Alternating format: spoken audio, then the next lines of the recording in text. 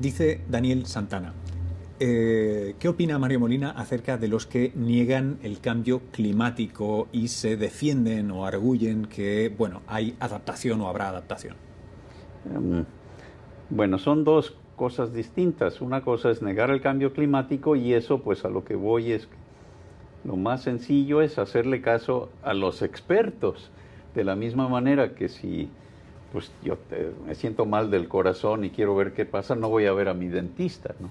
Entonces eso está muy claro. Los expertos eh, tienen un consenso enorme y claro, es posible para cualquier persona investigar, pero tiene que hacer una tarea que no es fácil de, leer toda la literatura científica si, si no le confía a los expertos, pero no le puede confiar a los no expertos nada más por credibilidad. Ahora, la adaptación es importante, pero es todavía más importante lo que llamamos mitigación por estos riesgos de que puedan suceder catástrofes si continuamos con estas emisiones. Por supuesto, hay que ya cambió el clima, ya tenemos que empezar a adaptarnos, pero sería pues muy muy poco atinado no hacer nada y nada más contar con con adaptarnos, darse por vencido. Y por, precisamente porque no sabemos en detalle qué tanto puede pasar y ya vemos pues el costo de los desastres, que pues, no, va, no va a ser nada fácil. Otro televidente me pregunta, Luis Mancera, algo que viene al paso de lo que está diciendo ahora, que es en el caso de no tomar acciones importantes, eh, ¿dónde estaríamos a medio y largo plazo? Bueno, es, es, es eh, una manera de explicarlo es como un juego de ruleta, que es lo que hemos hecho en el, en el MIT con mis colegas, y pues podemos cambiar de ruleta si tomamos las medidas adecuadas, pero con la ruleta con las que estamos hoy en día, tiene pues con la cuarta parte es que de color rojo.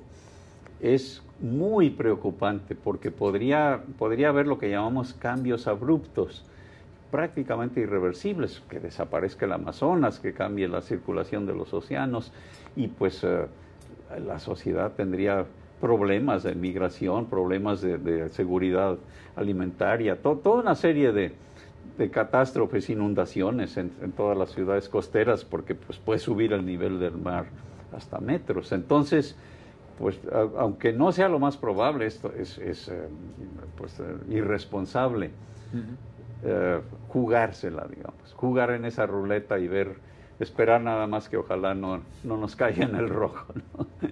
Y eh, por último, una pregunta que nos hace Marisa Castañeira, que es eh, profesora de, escuela, eh, con referencia a los, a los CFCs. Sí. No entonces, sino ahora. Ahora. Que es, uno, ¿crees fue efectiva la reducción y la, y la legislación y también pudieron tener algún tipo de efecto con el calentamiento global desde su día hasta hoy? Sí, sí, sí. son dos preguntas distintas el, protocolo de Montreal, el tratado internacional, pues funcionó extraordinariamente. Hay que aclarar que estos compuestos permanecen en la atmósfera, pues algunos más de un siglo. Entonces, lo que vemos hoy en día son los impactos de lo que se emitió en el siglo pasado, pero ya estamos viendo cómo, cómo está disminuyendo su, cantidad y cómo poco a poco se, se empieza a recuperar la capa de ozono. Pero eso lo sabíamos, sabíamos que eso no va a ser inmediato, pues porque por la vida media eh, de estos compuestos. Y la otra pregunta... Sí, eh, eh, ¿tuvieron algún tipo de, relación los CCC Ah, sí, con el cambio climático, sí.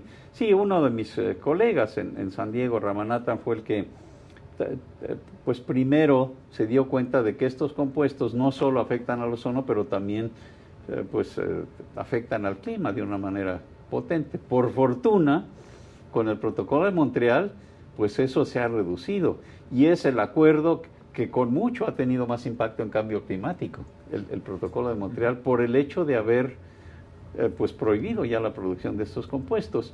Eh, hay cierta preocupación con los compuestos que se inventaron para sustituir a los CFCs, que ya no afectan al ozono, pero algunos de ellos siguen siendo problemáticos para el cambio climático. Entonces hay un movimiento para que se incorporen al protocolo de Montreal, aunque ya no sea por el ozono, pero ahora por el cambio climático.